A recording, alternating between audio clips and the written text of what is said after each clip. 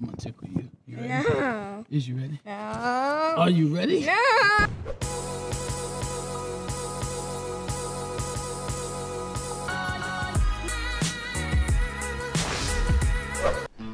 What up, though? I'm Fashon Vega, and this is Hate by Design. YouTube channel we explore what is design, who are designers, who is it for, and who needs it most. And today is Tip Minute Tuesday, the time of the week where I give you a small tip to help you design the enhancement of your life and experience. And the best part about Tip Minute Tuesdays now is that my daughter, Ahvi, will be joining us, giving us her perspective and little tips for life. So let's get into it. Today's topic New Year. I've done a project this year called the One Year Suit, which is focused on goals or goal achievement, i.e., goaltending, and what does uniform mean for us being great and the survival of black men. What we're going to cover today is one of the tricks that I've used on how to set up your life for success, how you define it, by starting off the day with a certain structure and a way that you can kind of map out or look at your year in quarters. But it doesn't have to be the entire year. It could be a small project. If you want to achieve something in a month, we can break that down in quarters and reverse engineer. Starting early is number one on how to win in 10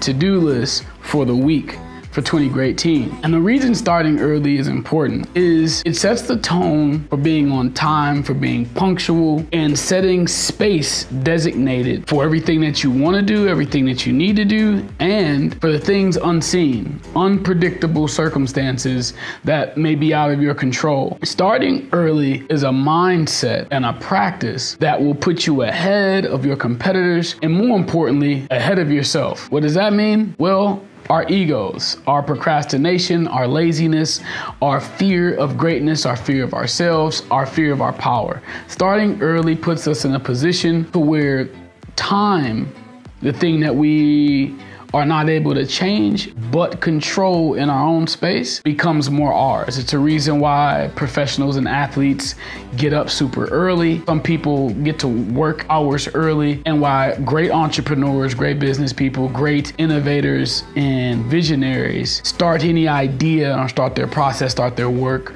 early to allot for space. So what does that mean for us? When starting your year, and deciding who you're going to design yourself to be and what life you're going to design for the upcoming year. Starting early means for me, three months before the new year. Yeah, that's right. I started 20 Great Teen three months. October 2017, I was already mapped out for the year. Same for 20 Hype Teen, Light Teen, planning all type of things.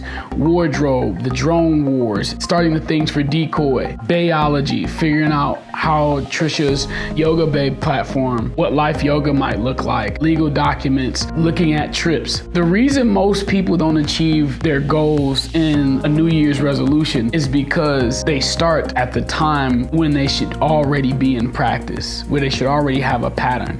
Patterns are important because that's how we, be, create habits. They say you have to do something seven times before it begins to become a habit. You do that thing seven times, three times. So it puts you at 21 days. So ideally, anything we want to do, we should be doing for a month. So for me, I took that and doubled it. I say if I want to be doing something for an entire year, I don't need to start in December. I need to start in October. For those of you who haven't, this is what we're going to look at. A technique we can use to kind of visualize and map our progress or reverse engineer it to achieve our success.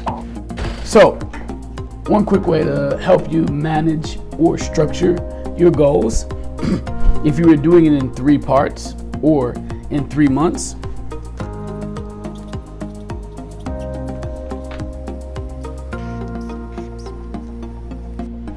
All right, so now we have month one, month two, month three. And what you would place in here, things I want to achieve in week one, week two, week three, week four. In doing this, you create a structure that you can see visually. The goal for you may be a thousand subscribers, 1K subs in three months.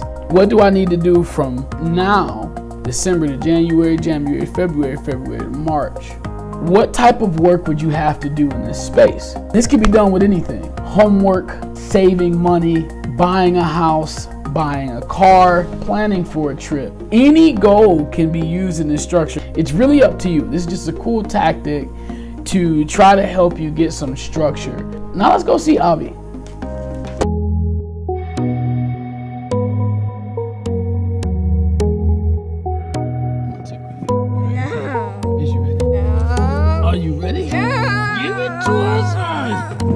Oh, see, you're